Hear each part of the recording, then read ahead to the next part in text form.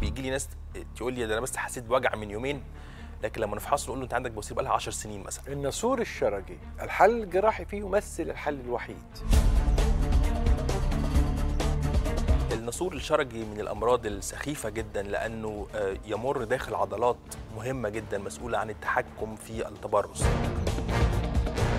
بقى الحل للناسور دلوقتي زي ما بنقول حاجة اسمها فيلاك إن إحنا نخش نقفل الناسور ده بدون ما نمس حتى العضلات ودي حاجة يعني أنا نفسي الناس كلها تقرأ عنها.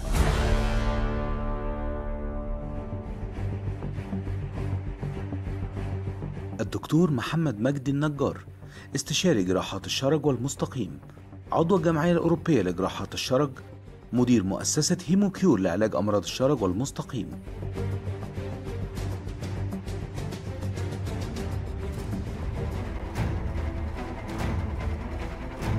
زمان جدا أو في الماضي البعيد ربط الأجداد بين الناسور العصعصي وبين ركوب الخيل والجمال لفترات طويلة واللي طبعا بيكون مصاحب لمعدل كبير من التعرق.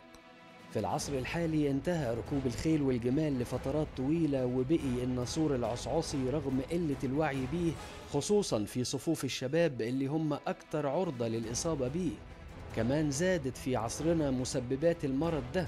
البدناء وأصحاب المهن الكتابية والمضطرين للجلوس طويلا واللي بيسوقوا لفترات طويلة وأصحاب التعرق الزائد وأصحاب الشعر الكثيف كل دول مرشحين للإصابة بالناسور العصعصي. ولأنه أسباب الإصابة متعددة وعدد المرشحين للإصابة كبير جدا.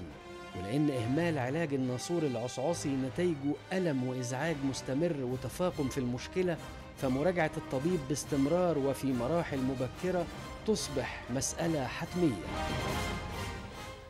أهلا بكم. النهارده لقاء من تراث خاص لقاء طبعا من آه، أصحاب المقام الرفيع في مجال الحقيقة. أنا عايز أقول يا جماعة إنه مجال ال anorectal surgery أو جراحات المستقيم أو جراحات المستوى المنخفض من الجهاز الهضمي ده اسمه ال lower GIT دي لفترة طويلة جدا كانت الثقافة المصرية فيها قليلة.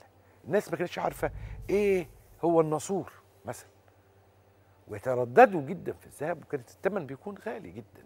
ما كانش الناس عارفة إيه هو إيه هي البواسير وإيه هي الدرجات اللي تتعالج علاج جراحي. والناس ما كانتش عارفة الأهم من كده. اللي فهموا بقى الناسور واللي فهموا البواسير ومروا بتجربة جراحية وعلاجية مزعجة. ما شافوش التطور المذهل في عالم الجراحات وإزاي الليزر غير وجه هذه الجراحات وأصبحت بعد ما كانت جراحة آه، مش هنقول ضد اليوم الواحد جراحة المدى الطويل في في الريكفري في الاستشفاء في إن أنا هقعد في البيت في إن مشاكل الجراحة هقعد أعالجها مضادات حيوية. لا بقت جراحات مش بالشكل ده أقل كثيرا. صحيح في كيسز منهم ممكن تقعد كده العلم في كل حاجة. خلي بالكم يا جماعة العلم الطبي في كل الاحتمالات. مفيش في العلم الطبي كلمة أقول لكم إيه؟ الموضوع ده بسيط جدا أو الموضوع ده صعب جدا. قد يكون بسيط في بعض الحالات قد يكون مضاعفات ومشاكل في حالات تانية لو أهملت. فالنهاردة هنستمتع بحوار من طراز خاص جدا. زي ما قلت لكم في واحدة من الجراحات اللي أنا بعتقد اللي لينا الحمد لله رب العالمين ثواب كبير عند ناس كتير جدا إن إحنا نقلنا لهم ثقافة. وضيف العزيز هو واحد من رواد هذا المجال اللي عملوا هذا الجهد فأنا بشكره مقدما على هذا الجهد الكبير. آه، واحد من ال- النجوم هذا المجال مجال النجوم الطبية يعني لهذا المجال ضيفي العزيز الأستاذ الدكتور محمد النجار استشاري جراحات الشرج والمستقيم وعضو الجمعية الأوروبية لجراحات الشرج والمؤسس لهيمو كيور مؤسسة هيمو آه، كيور لعلاج أمراض الشرج والمستقيم من المؤسسه الشهيره أهلا بيك يا دكتور أهلا دكتور حضرتك وحشني خالص. الله يخليك أنت أكتر. أنا بشكرك اولا على المجهود الكبير طبعا اللي أنت عملته في التثقيف لهذه المجموعة المرضية. الله يخليك هو المجهود ده بتاعك؟ لا ده بتاعك أنت. الحقيقة يعني لأنه وأنا اسمح لي أشكرك يعني على على اللي أنت عملته. الحقيقة على مدار ال- السنين اللي فاتت. إحنا اتكلمنا في حاجة لو حضرتك تفتكر من سنين إنه ما كانش حد يعرف حاجة ابدا عن الحكاية دي. آه. كانت الناس تبقى عندها آلام وعندها آه، أمراض صعبة جدا ويمكن التشخيص يبقى غلط ويمكن المريض مش فاهم قوي أو حاجة. لكن الحقيقة يعني أنا أشكرك إنك قدرت تنقل. الناس لثقافة عظيمة جدا وبدأوا يعرفوا وبدأت الناس تيجي العيادات مشخصة نفسها وعارفة هي عندها إيه وكل حاجة ويقول لك أنا آه، شفت حد بيتكلم عن الحكاية وكل حاجة فالحقيقة يعني الوعي اللي حصل في الحتة دي كان وعي عظيم جدا وبدأ ثماره تبان وبدأت الناس تعرف وبدأت الناس تفهم وبدأ اللي عنده ناسور شرجي يبقى عارف إنه عنده ناسور وما ينفعش يسيبه وبدأ اللي عنده بواسير عارف هو عنده إيه وهكذا يعني بدات الناس تاكل صح شوية بدأت الناس ما تعملش عادات غذائية غلط وحاجات زي كده حاجة عظيمة جدا أشكرك عليها الحقيقة يعني. أشكرك شكرا جزيلا أنت اللي قدمت كل هذا الجهد وكل هذا التواجد الرائع جدا والعمل كمان اللي في هيمو كيور ما شاء الله بيتطور يعني بتطور يعني up to date الحمد لله. على مدار الساعة صحيح. عايز أبدأ بالناسور كلمة على فكرة كانت غامضة عند ناس كتير وما زال برضه كتير من صحيح. الناس ما يعرفوهاش الناسور آه، عبارة عن آه، فتحات موصلة ببعضها بال track إذا قلنا إن هو جنب الشرج فنسميه ناسور شرجي. إذا قلنا إن هو في المنطقة السفلى من الظهر عند منطقة العصعص فنسميها ناسور عصعصي. إذا جه عند السرة فنسميه ناسور سري فناسور بالمعنى العام هو عبارة عن فتحة وفتحة على الجلد من بره وما بينهم track أو قناة من النص الأغلب واللي بنشوفه كتير هو الناسور الشرجي أو الناسور العصعصي خلينا نبدا بالناسور الشرجي الناسور الشرجي يعني عبارة عن فتحة داخل فتحة الشرج وفتحة خارج فتحة الشرج وما بين الاثنين track أو قناة. يبدأ الحكاية دي ب abscess ب perianal abscess بخراج جنب فتحة الشرج إذا أهمل الخراج وما اتفتحش بشكل سريع البكتيريا تجري وت extend وتعمل track ويبقى اسمه perianal fistula لكن إذا فتحنا الخراج على طول وفرصة نقول للناس إنه أي حد عنده perianal fistula عنده perianal abscess عنده خراج جنب الشرج أي حد حس بوجع غريب فجأة مش الوجع حتى المعتاد عليه أو حاجة لابد نروح لدكتور وإذا لقى خراج لابد الدكتور يفتحه على طول مفيش حاجة اسمها ناخد آه، مضاد حيوي وحاجات زي كده لأنه هيخلي البكتيريا تجري اللي فوق وتعمل ال track ويبقى fistula كاملة أو ناسور شرجي كامل. طيب بالمناسبة إن الخراج اللي بيجي جنب الشرج ده بيبقى ألم حاد وبيحصل فجأة. يعني إذا واحد ما عندوش حاجة وفجأة لقى وجع عنيف جدا وإحنا نسميه throbbing pain أو وجع زي النقح كده حاجة بتنبض جنب فتحة الشرج. إذا ده حصل فأنت أكيد ما عندكش حاجة من الحاجات العادية مش ما عندكش بواسير ولا عندك عندك حاجة غريبة اللي هي غالبا بتبقى خراج وإذا ما اتفتحش بيعمل الفيستولا فناسور شرجي يعني عبارة عن فتحة بجوار فتحة الشرج متصلة بفتحة أخرى داخل فتحة الشرج وما بين الاثنين تراك أو قناة بتخلي الإفرازات تنزل من الفتحة الخارجية. ال- ال- السؤال دايما يعني اللي هو الكلاسيكي هل يمكن أن يتعايش مريض مع مثل هذه الحالات؟ الحقيقة لأ. إحنا ممكن نقبل إن مريض يتعايش مع بواسير من الدرجة الأولى أو الدرجة الثانية أو حاجات خفيفة زي كده. ويقول إنه هي هيعمل lifestyle modification لأنه الدرجات الأولانية من البواسير يمكن علاجها بدون أي عمليات ولا أي حاجة خالص. لكن مفيش ابدا درجات للناسور يمكن علاجها باستخدام الأدوية أو يمكن علاجها بمرور الزمن يعني.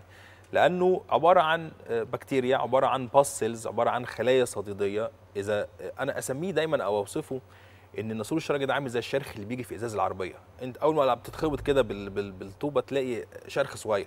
سيبوا العربية دي لحد بكرة هتلاقيه كبر شوية. سيبوها لحد أسبوع هتلاقيه كبر خالص لحد ما يوقع الإزاز بتاع العربية. فالناسور عامل كده بالظبط. يبدأ سنتي سنتي ونص نقول للمريض ده روح يعمل رنين مغناطيسي نشوف الناسور ده قد إيه يلاقيه سنتي ونص. المريض يهمل شوية ويجي بعد شهرين ثلاثة نعمل رنين مغناطيسي ب 4 5 سم في الأول يبقى آه، الناسور ده سطحي أو ليه علاقة بعضلات يمكن ما تبقاش ذات قيمة قوي يعني. إذا أهمل يكبر شوية ويطلع فوق العضلات ويبقى أنواع كتيرة زي ما هنقول بقى كمان شوية. فالحقيقة إن الناسور الشرجي لا يمكن ابدا التعايش معاه. أي مريض عنده ناسور شرجي لابد يعالجه. يعالجه بأي طريقة كانت على حسب آه، نوعه لكن لابد إنه يتعالج ما ينفعش يتساب ابدا. القصة بتبدأ بالأنواع والأسباب. في تداخل أكيد بين كلمة نوع وسبب. بالظبط. آه. الناسور ده آه، آه، سموه أنواع واحد خواجة كده آه، آه، اسمه Goodsall's عمل حاجة اسمها Goodsall's rule قال لك إحنا هنسمي أو هنقسم الناسور على حسب العضلات اللي هيخش فيها. والحكاية دي هو ال ال يعني التقسيمة دي يمكن من 1913 ولحد دلوقتي ما زالت معتمدة وكلنا بنمشي عليها. إذا كان الناسور ده تحت ال mucosa بس يعني مش واخد أي عضلات خالص يعني يا دوبك الفتحة اللي بره جنب فتحة الشرج والفتحة اللي جوه ملهاش علاقة ملهاش دبس مش واخد عضلات نسميه superficial fistula نفتحه بالجراحة نفتحه بأي حاجة في نفتحه يعني ايا كان مش هيحصل منه أي ضرر.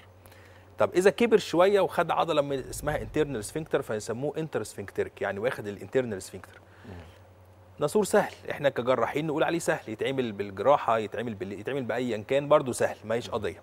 إذا كبر الناسور شوية فيسموه extra trans sphincteric يعني واخد واخد جوه ال external sphincter وال trans يعني عبره وال external sphincter فيسموه trans sphincteric يعني واخد ال internal وواخد ال external sphincter إذا كبر عن كده يسموه extra sphincteric يعني فوق العضلات. إذا كبر فوق خالص بقى فوق ال levator ani العضلة اللي في النص دي يبقى اسمه supra sphincteric يعني فوق العضلات. ولا مستويات يعني على حسب. ده تقسيم تشريحي. تشريحي وهو ده ما زال معتمد لحد دلوقتي. يعني مثلا الخط الرفيع الأولاني ده هو اللي بره ثم يكبر شوية يبقى فوق وهكذا وهكذا. okay. طيب الأنواع بتاعته دي مهمة جدا لأن نوع الناسور هو اللي هيحدد إحنا هنعمل إيه في الناسور طب إحنا بنعرف نوع الناسور إزاي؟ بالرنين المغناطيسي ولا شيء تاني غير كده. بعض الفحوصات زي مثلا ال endoanal ultrasound أو حاجة تساعد شوية لكن مفيش حاجة تقدر تقول الناسور ده واخد إيه من العضلات غير الرنين المغناطيسي. طب هل ينفع مريض عنده ناسور شرجي يعمل عملية من غير ما يعمل رنين مغناطيسي؟ غلط. مفيش حاجة مفيش حاجة اسمها كده لأنه أنا مش هبقى عارف أو أنا بقى هحط المريض في الحتة بتاعه المفاجأة إن أنا أخش العمليات وأقول له ده أنا اتفاجئت إن لقيت كذا فعملت كذا وده ما بقاش في الطب ابدا لأنه لازم من حق المريض إنه يبقى عارف إيه اللي هيحصل خطوة بخطوة جوه العملية ويناقشك وتناقشوا فيها ويبقى عارف هو هيحصل له إيه بعد العملية خطوة بخطوة. ولذلك الأنواع هي مهمة جدا للدكتور قبل ما تبقى للمريض لأنه هو اللي هتحدد إحنا هنعمل إيه وهنشتغل إزاي. أسباب الناسور ما فيش حاجة ابدا غير إنه بيحصل خراج جنب فتحة الشرج لكن إيه أسباب الخراج بقى مليون حاجة؟ إن يمكن المريض مش واخد باله قوي من ال hygiene مثلا. يمكن المريض بيقعد فترات طويلة فعنده حاجة اسمها احتباس حراري حوالين الشرج يعني في حرارة دايما حوالين الشرج يجي عند الناس اللي أكتر اللي يمكن تستخدم ال underwear مثلا أو حاجات مصنوعة من البوليستر أو الحاجات اللي تسبب دايما في حرارة كده أو حاجة.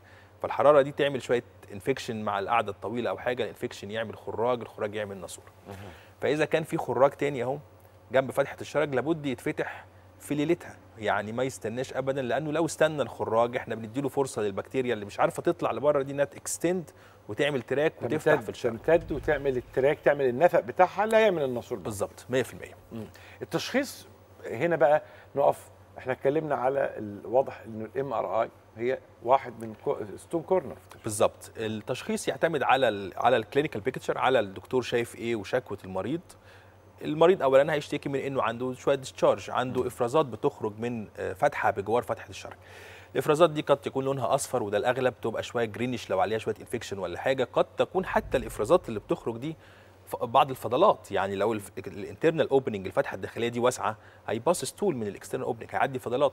مريض يقول لك أنا آه، أثناء ال ال ال ال ال ال الدخول الحمام مثلا آه، الفضلات تخرج من الشرج عادي لكن ألاقي شوية خارجين من فتحة جنب فتحة الشرج فده عنده ناسور. طب نشخص بقى نوع الناسور إزاي من الرنين المغناطيسي هو اللي هيقول لنا نوع الناسور ونقدر نتعامل معاه إزاي. طيب الناس مثلا اللي مش هتقدر تعمل رنين مغناطيسي أي حد مركب حاجات معدنية الشرايح والحاجات اللي المسامير ومش عارف إيه ما ينفعش يخش ال MRI نستغنى عنها ساعتها بال endoanal ultrasound وبقينا بنعمل حاجة اسمها procto station أو جهاز عظيم كده بي بيسموه procto station عشان نعرف بالظبط نوع الناسور بدون ما نعمل رنين مغناطيسي. ينفع في حالات إن المريض ما يقدرش يعمل رنين مغناطيسي. لكن التشخيص يعتمد على وصف الحالة من المريض وعلى شطارة الدكتور وعلى الفحص بال MRI أو الرنين المغناطيسي أنا بحب التاريخ عايزين نحكي بقى تاريخ علاج الناسور أكيد آه يعني آه، في حاجات آه، آه، أثرية ما زالت بتحصل لحد دلوقتي.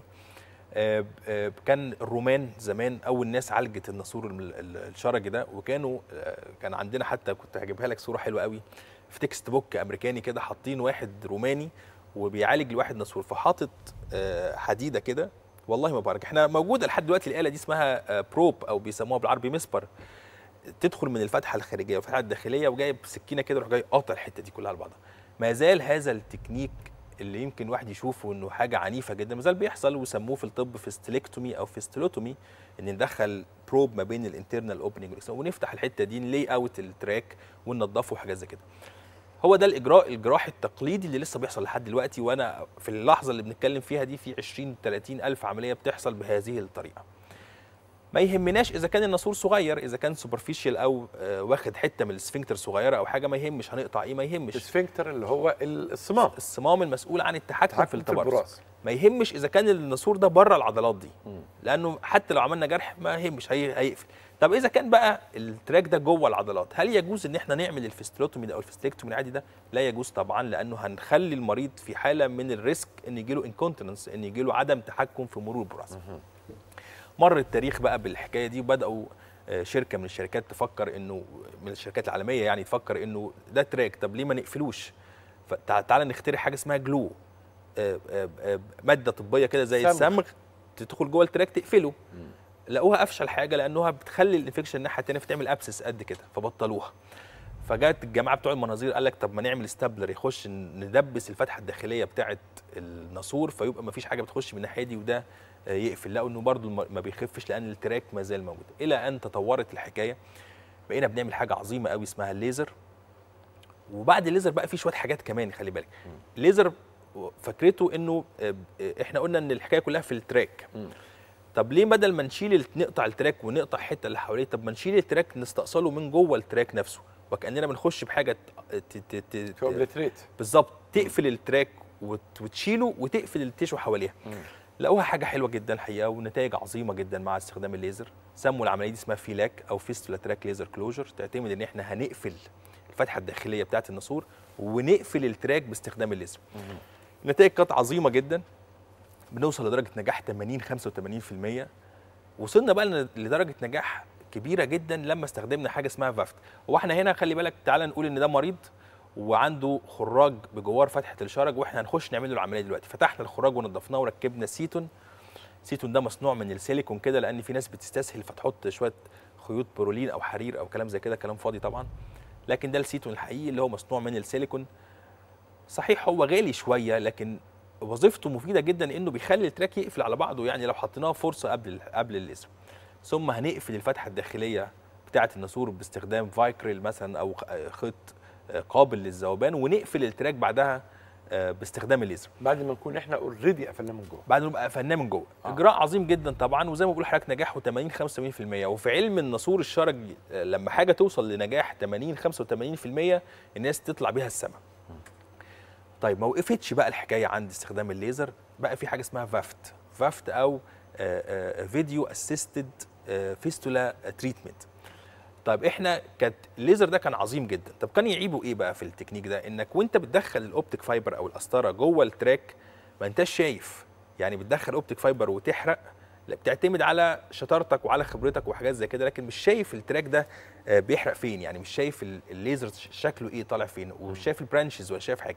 مش شايف تفرعات. مش شايف تفرعات لأنه. ساعات الناسور ما يبقاش خط بس كأنه قناة. ده. قناة ليها فروع. branch طب آه. إذا بقى كان بقى في آه، شركة طبعا شركة أمريكانية عظيمة جدا اخترعت حاجة اسمها VAAFT اللي هو المنظار الصغير اللي بيدخل اللي هو ده. آه، آه، ده المنظار. ده probe كده بيدخل من ال external opening هوريك فيديو ليه دلوقتي عظيم جدا. طب إذا قدرنا نشوف جوه ال track تتخيل كده إن إحنا هنشوف هندخل جوه ال track نفسه. ال track ده رفيع. رفيع جدا آه. بالملي وعشان كده إحنا كده داخلين خلي بالك خلي بالك ال width ده كله 3 4 ملي ولا حاجة بالكتير يعني. ياه. إحنا كده جوه ال track فبقينا شايفين ما داخل الناسور. دي أصغر كاميرا شفتها. لا 4 ملي. ما آه ما أربعة أنا- مللي. دي أصغر كاميرا شفتها. يعني أنتوا دلوقتي بتشوفوا أصغر نوع من المناظير على الإطلاق. بالظبط. أصغر نوع. 3 4 ملي إحنا جوه التراك. أنا أنا نفسي الحقيقة يعني ما كنتش متخيل إن ممكن يجي اليوم اللي أبقى شايف فيه الناسور يعني شايفه برؤيه العين كده يعني. أنت لما بتحكي لي دلوقتي بتقول لك وأنتوا يعني بت... كنتوا بت- بتحلموا إن أنتوا تدخلوا جوه الناسور الناسور ده يا جماعة عبارة عن قناة. نفق رفيع جدا زي الشعره تقريبا رفع شعرتين جنب بعض. صحيح صحيح بالملي يعني. آه. يعني حتى لما يقول ناسور كبير شوية يقول لك ده 6 مللي مثلا ده 5 مللي حاجة كده يعني. فبقينا بنشوف جوه ال track ما بقيناش بنعمل الليزر لوحده بقينا بنعمل الليزر combined with VAAFT يعني آه، آه، وإحنا شايفين كده. فبقينا نشوف لو لو في branch دلوقتي هنشوفه وكانه حارة كبيرة جوه الشارع يعني. فبقينا بنحرق طبعا متكبر الصورة دي. دي متكبرة جامد. متكبرة طبعا magnified آه كبير طبعا. آه. طبعا آه طبعا. يعني آه. إحنا كده جوه ال track ودلوقتي بنحاول نعمل شوية debridement يعني نطلع كل ال necrotic tissue اللي جوه زي ما حضرتك شايف دلوقتي. الخلايا. والأنسجة الميتة. وبعدين بقى نحرق بعد ما. نخلص نحرق بالليزر. آه. فنبقى خلينا النجاح اللي كان عظيم جدا بالمناسبة 80 85% ده أصبح 90% و95% وبالعكس كمان يعدي حاجات كبيرة قوي. لما بدأنا نستخدم شري... الأفكار بتاعت الشركات المختلفة. الليزر ده اللي بت... اللي بتعمله شركة ألمانية عظيمة قوي. وال VAAFT ده شركة أمريكانية أو ما أعرفش ينفع نقول أسامي ولا لأ لكن جبنا الشركة دي مع الشركة دي وبقى الاثنين combined ببعض فعملوا تكنيك حلو قوي إنك تحرق نقول. الاسامي أصلا مش محتاجين دعاية دول يعني. آه، ال- ال VAAFT ده من شركة ستورز آه. ستورز الأمريكية وال- والليزر من شركة بايوليتيك. والاثنين بالمناسبة من أكتر الناس اللي بتنافس بعض يعني.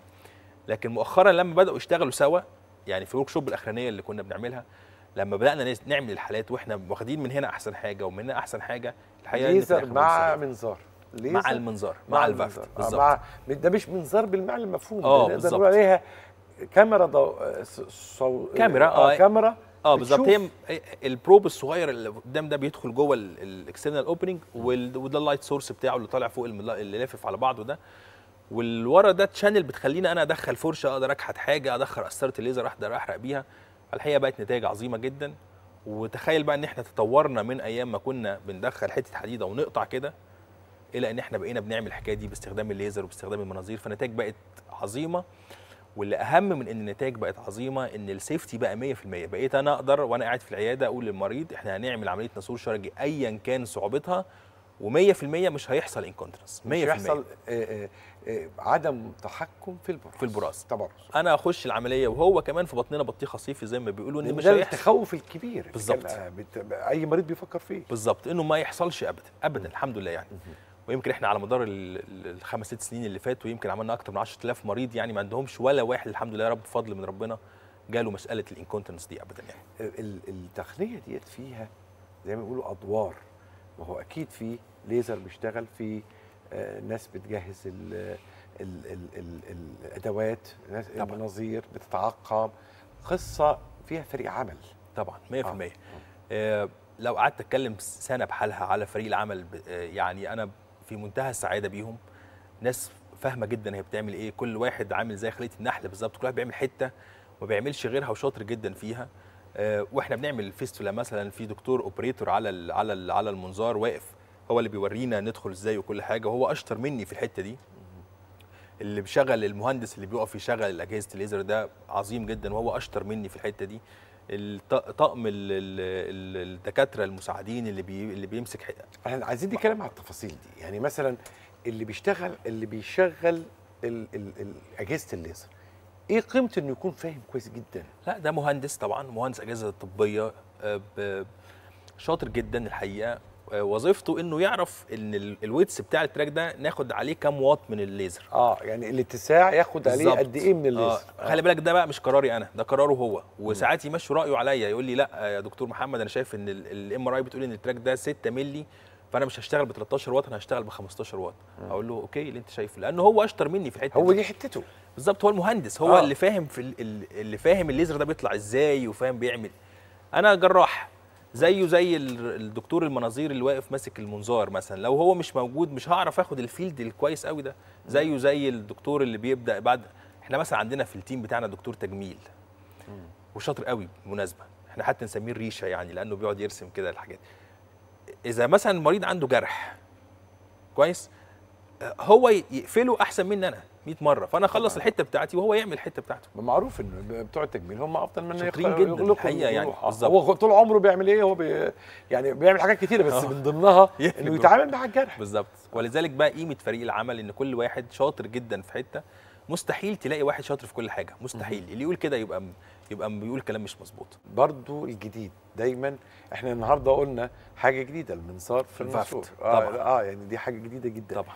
إيه ال- ال- ال- القريب هنشوفه جديد في ال anorectal surgery آه مفيش آخر. يعني يعني أنا بقول لحضرتك إحنا كنا حتى التشخيص بتاع المرض كنا نبص بعينينا ونقول للمريض أنت عندك كذا أنت عندك بواسير أنت عندك شرخ شرجي بتاع. حتى التشخيص ده بقى ب machine كبيرة قوي اسمها procto station. Procto من proctology و station يعني محطة يعني محطة تشخيص أمراض الشرج بقينا الكشف ما بقاش بالعين كده. بقى بأجهزة بقى بكاميرا وبقى ب ultrasound وبقى ب manometry بقت بحاجات عظيمة جدا. مفيش آخر ابدا. بيتعمل كل سنة ال European Society of Coloproctology أو المؤتمر اللي بيتعمل للاتحاد الأوروبي آه، ل- لجراحين الشرج والمستقيم. مستحيل تتخيل التطور كل سنة بيبقى عامل إزاي. مفيش آخر ابدا للتطور وفي الآخر كل ده بيخدم المريض. والحمد لله دلوقتي إحنا وصلنا لدرجة عظيمة جدا إنه آه، يعني نسب نجاح عالمية الحقيقة يعني. أنت نورتني واسعدتني الله يخليك. وكالعادة أبدعت وأبهرتني النهارده الله يخليك. بالحاجات الجديدة الجميلة دي. ما تنسوش انه يعني الأمراض زي النسور الشرجي وغيرها بترتبط ارتباط وثيق جدا بكثير من الأمراض. يعني مثلا السكر نقص المناعة ال- ال- ال- اللوكيميا مشاكل النخاع العظمي كل ما المناعة تقل كل ما فرص ال infection العدوى تزيد. والعدوى أو ال infection ب organism ايا كان ده ممكن يكون بداية المشكلة. ضيفي العزيز الأستاذ دكتور محمد النجار استشاري جراحات الشرج والمستقيم وعضو الجمعيه الأوروبية لجراحات الشرج والمدير لمؤسسة هيموكيور لعلاج أمراض الشرج والمستقيم أبدعت كالعادة لنا شكرا. بالمنظار بس. في قناة يعني في حلقتنا وبال آه، آه، آه، يعني نقول إيه ده حد يتخيل إنه مليمترات شاف بالمنظار العلم ملوش يعني علم المناظير وعلم الكاميرات علم متقدم للغاية للغاية. وده مهم جدا وأتاح الليزر أيضا فرق كتير جدا في عالم الجراحات. أكيد. صحيح. وخلى هذه الجراحات بعد ما كانت جراحات مزعجة للغاية أصبحت جراحات مأمونة للغاية. ودي مهمة جدا. خليكم دايما مع ناس الحلوه